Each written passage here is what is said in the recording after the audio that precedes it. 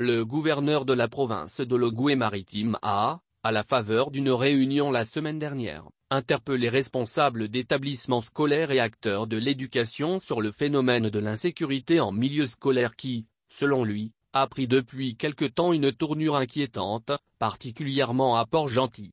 Paul Ngom Eyong ne cache plus son inquiétude face à la montée de la violence enregistrée depuis quelque temps dans certains établissements scolaires de sa circonscription administrative, et particulièrement à Port-Gentil où de nombreuses rixes entre élèves sont rapportées. Une réunion dédiée au traitement de cette question a récemment été organisée dans le chef-lieu de la province de l'Ogooué-Maritime. Celle-ci a été présidée par le gouverneur lui-même, en présence de l'autorité académique, des responsables d'établissements et des acteurs de l'éducation. Objectif, trouver des moyens permettant de juguler ce phénomène.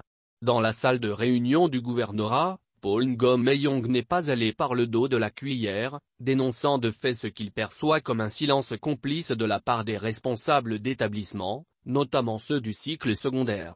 Beaucoup de choses se passent dans vos établissements sans qu'en ma qualité de haut responsable de l'administration dans la province je ne sois pas informé. Il arrive même que ce soit par les réseaux sociaux que j'apprenne que certains faits se sont déroulés dans vos établissements, a-t-il regretté.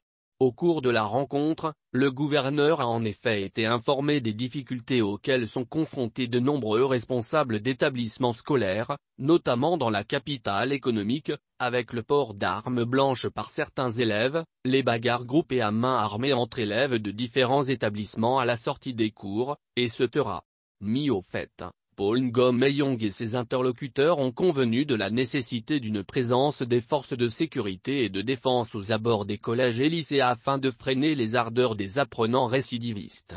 Dans cette optique, le gouverneur a initié le même jour une séance de travail entre les responsables de la police, de la gendarmerie et les chefs d'établissement. Dans les tout prochains jours, un dispositif sécuritaire sera déployé dans les alentours des structures éducatives de la ville, annonce le gouvernorat.